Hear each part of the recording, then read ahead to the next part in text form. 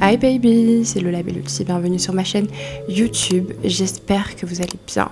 Ça fait longtemps que je n'ai pas fait de vidéos sur ma chaîne YouTube. Alors j'en ai fait beaucoup ailleurs, notamment sur mes plateformes privées. Voilà, un petit coup de pub, ça ne fait jamais de mal.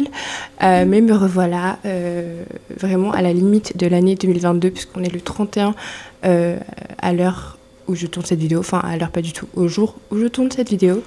Bref, il est 14h22 et dans quelques heures, on va tous fêter le nouvel an. Alors je sais pas du tout quand est-ce que cette vidéo sortira, euh, puisque vous avez pu noter ma régularité euh, inexistante. Anyway, je vous souhaite une très bonne année, plein de bonnes choses, la santé, l'amour, la réussite et euh, voilà, tout plein d'autres choses. En tout cas, le meilleur pour vous. Et, puis voilà, je vous remercie aussi de m'avoir suivi durant toute cette année. Alors je sais que ma communauté YouTube n'est pas aussi grande que celle sur mes autres réseaux sociaux, mais en tout cas, c'est super cool de continuer à m'encourager, d'être là, de me soutenir et puis euh, bah, de participer à l'évolution de ma chaîne YouTube et des futurs projets qui arrivent.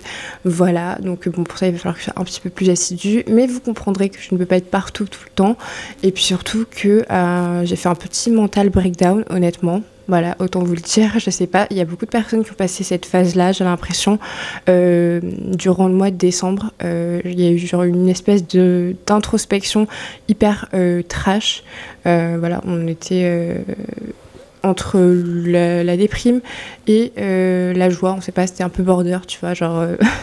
Bref, c'était hyper chelou comme phase. Je vous en parlerai dans une autre vidéo. La santé mentale, hyper important. Genre, ne la négligez pas. Ça peut avoir des répercussions qui sont vraiment pas cool. Et puis, bah, pour votre bien-être personnel, pour votre entourage, pour vos relations, pour tout l'aspect professionnel, c'est hyper important de prendre soin de sa santé mentale. Chose que je n'ai pas vraiment faite ces derniers mois.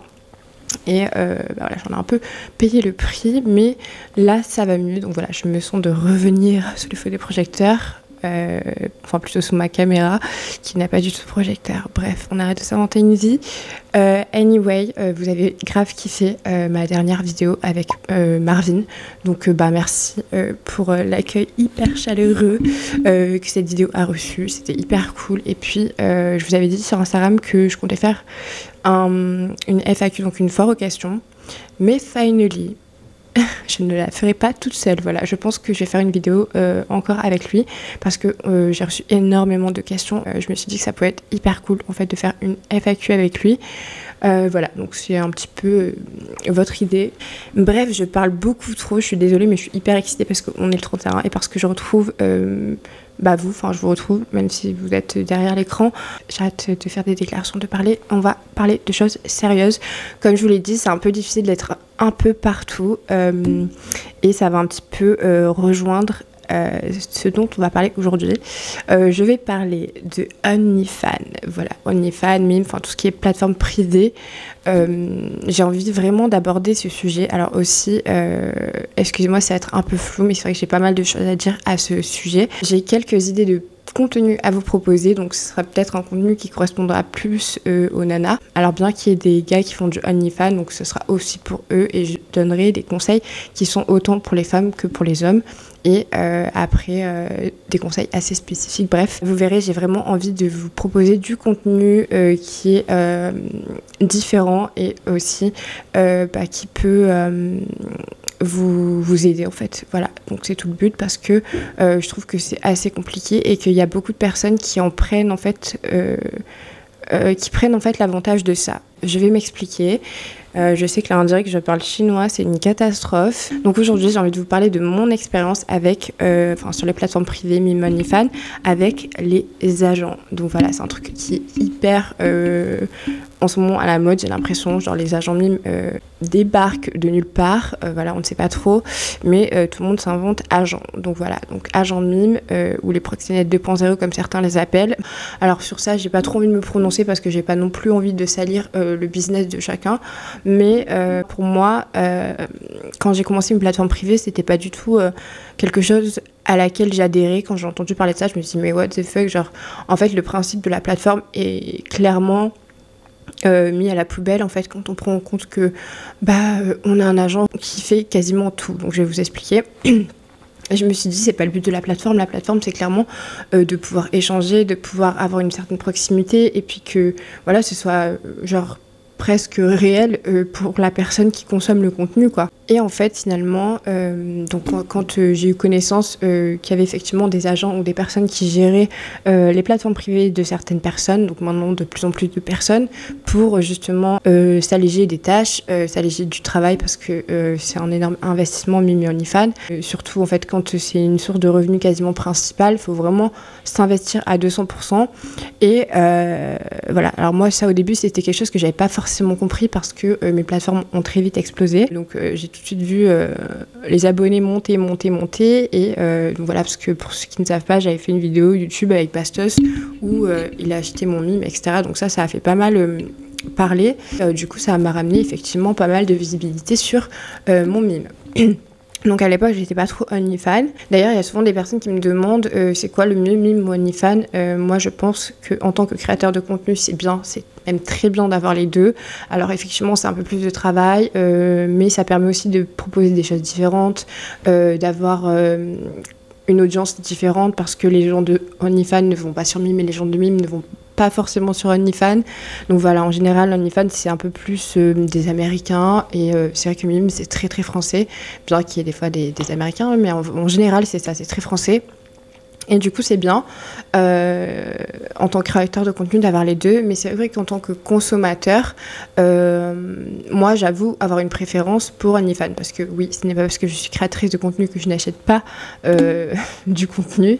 Détrompez-vous. de toute façon, je vous montrerai dans d'autres vidéos. Je suis abonnée à des OnlyFans. voilà, j'aime consommer du contenu de créatrice de contenu ou de créateur de contenu. Donc c'est vrai que moi, je suis plus des femmes que des hommes. Si vous ne le savez pas, vous le savez maintenant.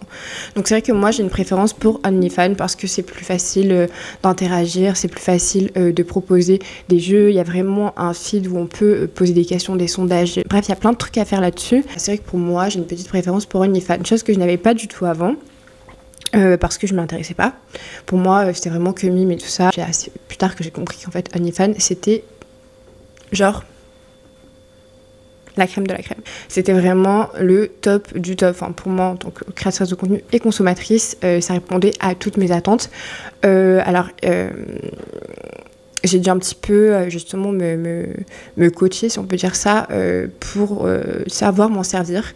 Donc notamment, je parlerai aussi de tout ça dans d'autres vidéos. Revenons à nos moutons. là, c'était juste une petite ou une grande parenthèse. Déjà dans cette vidéo, je vais être honnête. ça va peut-être pas plaire à tout le monde. Peut-être que vous allez apprendre des choses. Peut-être que vous n'allez pas aimer ce que vous allez entendre. Je suis pas là pour cracher sur qui que ce soit. C'est vraiment mon point de vue personnel et je ne fais pas de généralité. Déjà, mon point de vue de ce que j'en pense euh, par rapport aux agents mime OnlyFans, euh, je trouve que ça pourrait être positif si euh, c'était vraiment des personnes qualifiées pour ça qui le feraient et pas des personnes qui s'inventeraient agents mime pour récupérer les avantages de créatrices de contenu.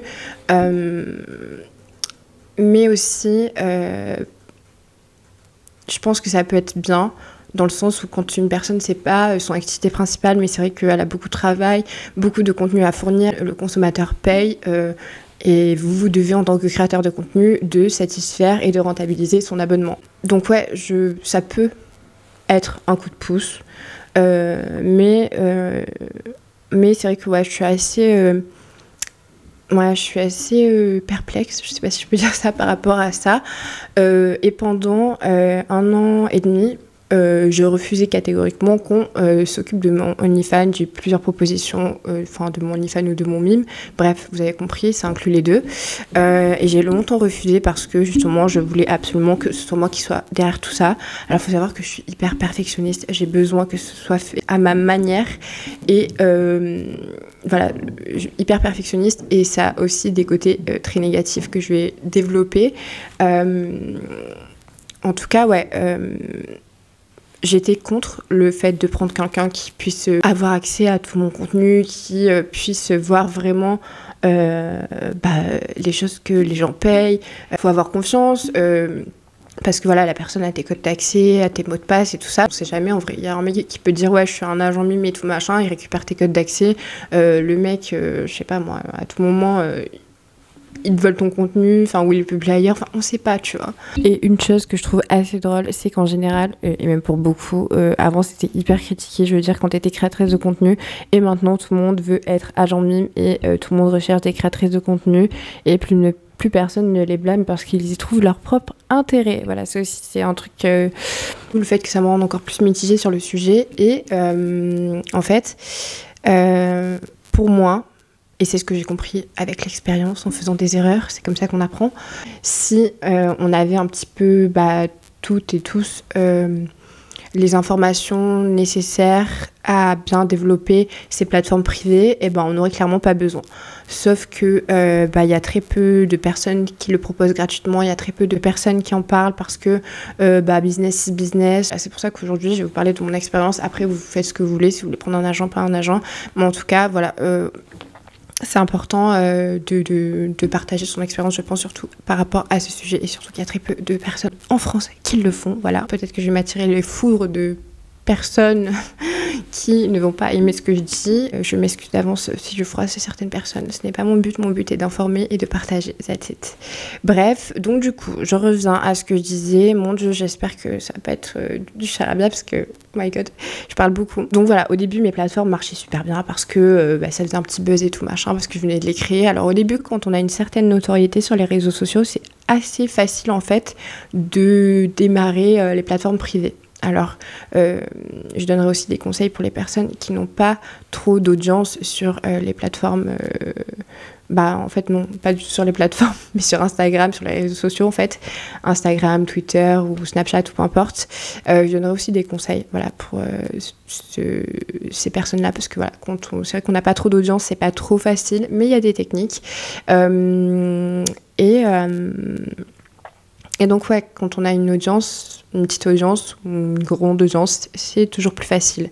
Et donc voilà, moi c'est quand même monté assez vite et tout ça. Donc c'est vrai que moi j'étais en mode ah trop bien, ça marche de ouf et tout. Et je m'étais pas non plus euh, concentrée sur le truc de c'est mon activité principale parce que bah, c'était au début de ma carrière euh, X. Donc du coup, bah, en fait j'avais euh, pas mal de tournages et voilà, j'ai je, accordé de l'attention. Mais c'est vrai que j'étais pas du tout investie comme je le suis aujourd'hui. Et bah, ça m'a fait perdre pas mal de temps, mais aussi ça m'a fait comprendre beaucoup de choses. Donc dans la balance, ça s'équilibre. Et euh, je me suis un peu reposée sur ça. Euh, je me suis dit, oh putain, ça marche, trop cool. J'avais pas toutes les techniques que j'ai aujourd'hui. J'étais mal organisée et ça me prenait un temps fou. Alors aujourd'hui, ça me prend toujours autant de temps, mais par contre, c'est bien organisé, c'est bien clair. Et euh, voilà, j'ai établi une technique de travail qui me permet d'être productive et, et voilà, de gagner du temps, même si ça prend clairement 80% de mon temps. Mais, euh, mais voilà, j'aime ce que je fais, donc euh, quand on aime, on ne compte pas. Après quelques mois, euh, bah, j'ai vu que le nombre d'abonnés descendait, que les gens ne se réabonnaient pas forcément, que bah, je laissais passer des demandes privées un peu comme ça parce que j'avais pas forcément le temps de les faire parce que j'en avais beaucoup aussi et que bah, voilà, j'avais pas un rythme, enfin j'avais pas établi de rythme de travail, rien du tout. donc c'était un peu, un peu un mess le truc et pourtant j'avais envie de m'investir mais je savais pas trop comment. Puis c'est vrai que, en fait, j'avais direct ce truc de me dire, euh, oh, j'ai l'appréhension d'ouvrir euh, mon compte parce que je sais que là, je suis passée de 900 euh, abonnés à 300 abonnés. Enfin bref, voilà, j'ai été en mode panique attaque. Qu'est-ce qui se passe? Et plutôt que d'en faire quelque chose de bien, de me dire, vas-y, ça me donner un coup de pied au cul. Qu'est-ce que je peux faire pour améliorer tout ça? Je ne veux plus voir. Je me cache les yeux. Je mets des œillères. Idée de merde on se le dit, mais en tout cas, voilà, c'est un petit peu ce que j'ai fait. Euh, et mon Dieu, j'ai envie de me taper la tête contre les murs quand j'y pense, mais quelle idiote. Bref, j'avais l'appréhension et tout, et puis j'ai essayé de faire du contenu, du contenu, du contenu, mais en même temps, vu que je suis hyper perfectionniste, il y a plein de trucs que je postais pas. Euh, si c'était pas parfait, il fallait pas que je le poste et tout. Enfin bref, euh, une catastrophe. Et euh, du coup, des personnes autour de moi m'ont dit Non, mais tu sais, euh, cette personne gère mon mime et mon OnlyFans, euh, c'est hyper rentable et tout machin, tu verras, ça va grave t'enlever du travail et tout. Donc, moi, j'étais pas trop chaude. J'ai été contactée par des agences américaines, etc. Donc là, c'est des vraies agences où bah, il y a des gens qui sont. Bah, que c'est leur taf quoi, de gérer tout ça, la part de la communication, les réseaux sociaux, le développement des plateformes, etc et euh, qui sont euh, spécialisés là-dedans en fait. Et euh, donc ce sont des agences américaines la plupart du temps et ils proposent vraiment des choses plus larges que les agents français. par exemple, moi, l'agent français qui, j'étais, ils géraient les messages privés, les propositions de médias privés. Donc, la personne vient pour te dire, ok, est-ce que tu es d'accord de faire ça, ça, ça, ça? On établit un petit truc et tout machin. Donc, il publie aussi dans le feed. Enfin bref, il a vraiment la main sur tout. Et bon, moi, en tant que grande perfectionniste, il était hors de question que quelqu'un s'occupe de mes photos, de mon montage ou encore de mon feed. No way. Il faut savoir que les plateformes privées, il me semble, hein, qu'elles prennent 20%. si jamais je me trompe, je vous mettrai le pourcentage qu'elles prennent en général. Euh, parce que je suis plus sûre de ça, parce que ça a pas mal changé sur OnlyFans et tout. Bref. Euh, et euh, un agent, en France en tout cas, prend à peu près la même chose, pour pas dire la même chose. Donc voilà, cet agent prenait aussi 20%. Et puis la finalité, c'est que je me suis dit, ok, bon, bah j'ai rien à perdre. donc je vais essayer. On, on sait jamais. Tu vois, ça peut relancer le truc, ça peut me me redonner euh, de la motivation, euh, d'avoir quelqu'un qui me dit euh, un petit peu, qui me guide un petit peu parce que là j'étais vraiment dans le flou et tout ça. Et en fait, euh, donc j'ai commencé euh, euh, avec cette personne. Donc cette personne a pris en main mon mime et mon OnlyFans. Alors au début, évidemment, ça a relancé, etc. et tout, mes plateformes privées parce que bah, elles étaient un peu laissées comme ça, dans le flou, comme c'était dans ma tête en fait. Et du coup, forcément, ça a un petit peu refonctionné, mais ça a très vite eu ses limites. quand j'ai vu que en fait, ça suffisait pas et que bah, la plateforme me prenait 20% et que du coup, l'agent me prenait 20% aussi, je me suis dit, oula, là, ça fait un peu beaucoup. Donc je me suis retrouvée avec des factures euh, qui étaient euh, presque euh, plus grosses que ce que j'avais touché sur mes plateformes privées. Et, du coup, je me suis dit non, non, non, non, non, là on n'est pas sur le bon truc et tout. Il vaut mieux que j'arrête et que je me remette, moi, à gérer tout, absolument tout, de A à Z. Et il y a beaucoup de personnes qui font ça, beaucoup de créateurs et de créatrices de contenu. Donc c'est important aussi en tant que consommateur que vous le sachiez. Donc la collab, elle a duré à peu près trois mois avec cet agent.